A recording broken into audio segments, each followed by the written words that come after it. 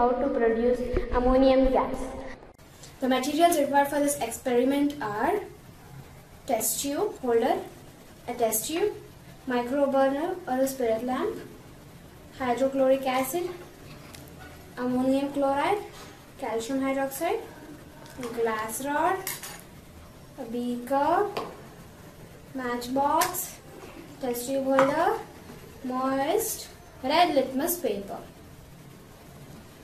So to begin with, let's add 3 scoops of ammonium chloride.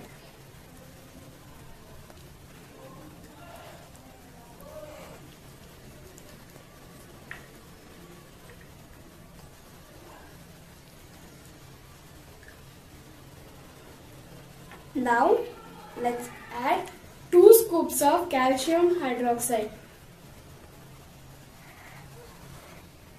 Let's heat the mixture of ammonium chloride and calcium hydroxide. And now we'll light the micro burner. Now let's heat this.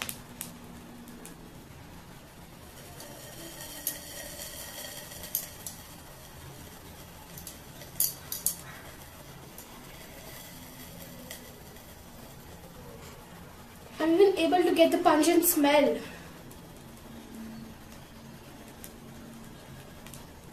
Let's test the nature of the gas being produced with the help of red moist litmus paper. You can see the red litmus is being changed to blue litmus paper. White fumes are being produced. Now dip the glass rod in hydrochloric acid and put it to the mouth of the beaker. You can see white fumes appearing. You can see the white fumes appearing.